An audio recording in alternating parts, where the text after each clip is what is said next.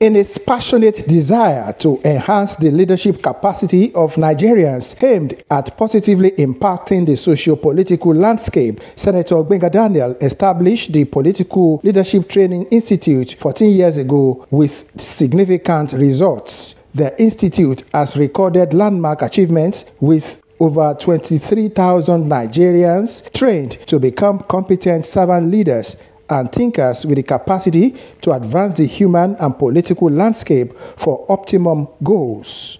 This strategic retreat is with the theme Capacity Building for Optimum Delivery. The process that happens over time. And because the polity, social and economic development is also not static, we then have to flow with the development that it is taking place around us, socially, economically, and politically. Senator Gbenga Daniel believes that with collective efforts of all Nigerians, the future is guaranteed under the leadership of President Bola Tinubu. Without any doubt, it's clear that he met a lot of challenges. He has two choices if he's not a bold person. He can just continue to ride on and then at the end of the day what happens?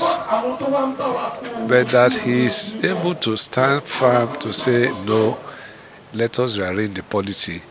We should press him.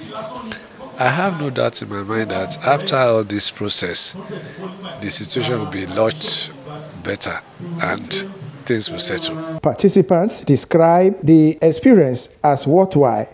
Imparted knowledge as far as uh, three forms of government in Nigeria on people.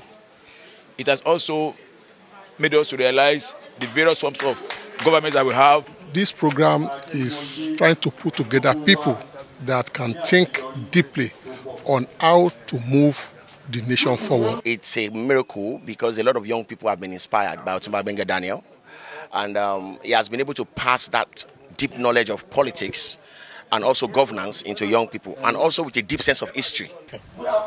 So it's a very good thing, and I love it. We are really enjoying it. It is intended for purpose of knowledge, to transmit knowledge, to transmit ideas, and that's why we have uh, really enjoyed the time here today. The strategic retreat is expected to come up with a communique that will suggest solutions to close the leadership gap in the nation's political space. From Ijebode, Lekon Agbonde, NTA News.